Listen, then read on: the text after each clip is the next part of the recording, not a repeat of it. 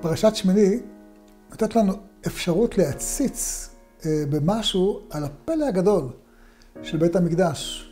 אתה קורא פרשיות, אה, קורבנות, תמיד, מוסף, קרביים, קרב, הזעה, אתה לא מבין בשביל מה זה. זה נראה לנו לפעמים דברים אה, ממש לא מדברים אלינו. אבל בפרשת שמיני, אתה קולט בשביל מה כל זה.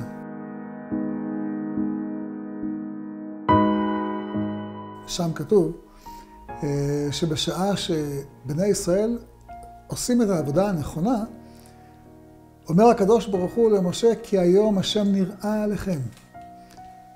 זאת אומרת, יש פה לא רק נבואה לאדם אחד, יש פה עוצמה לעם שלם. עם שלם זוכה לגילוי אלוקי מעין מה שהיה במעמד הר סיני, מעין מה שהיה בקריאת ים סוף.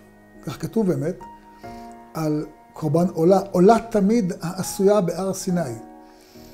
אה, זה מקום שבו העם מתחבר לאלוקים. כשאדם מתחבר לאלוקים, זה פשוט מבט אחר על העולם. אתה מסוגל להבין איך היהדות, היהודים, איך הנביאים הצליחו לראות מעל ומעבר, אלפי שנים קדימה.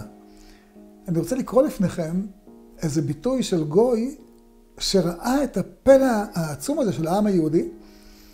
אחד מהאבות המייסדים של אמריקה, קוראים לו ג'ון אדמס, הוא היה הנשיא השני של אמריקה, וקראו לו אב מייסד, מכיוון שהרבה נשיאים אחר כך הזכירו את הדברים שלו.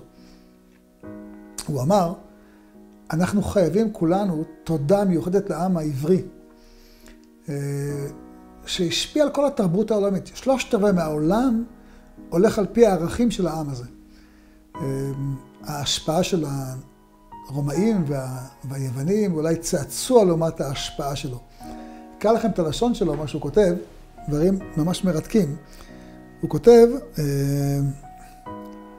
אין ספק שללא היהודים היה העולם מקום שונה בתכלית.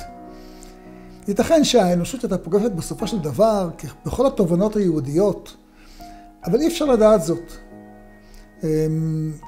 כי כל הדברים, כל התגליות הגדולות של האנושות נראות ברורות ומובנות מאליהם אחרי שגילו אותם, אבל נדרשת גאונות מיוחדת כדי לנסח אותם פעם הראשונה.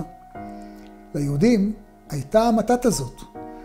לכן אנחנו חייבים להם את התפיסה שהכל שווים בפני החוק, האלוקי והאנושי כאחד.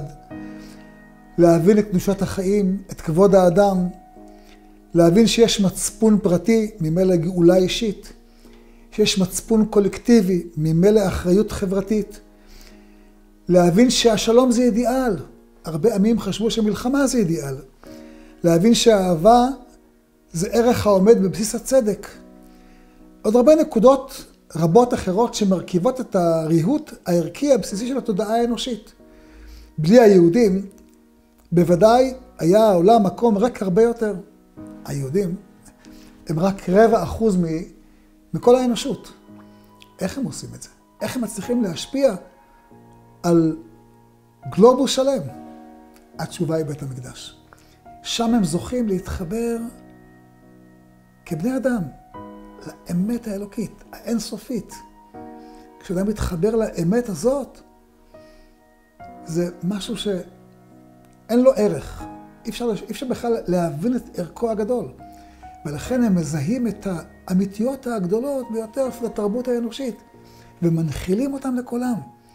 זה היה כוח של האבות, שהשם אומר לאברהם, ונברחו בך כל משפחות האדמה. איך? באמצעות המקום הזה, הר בית השם.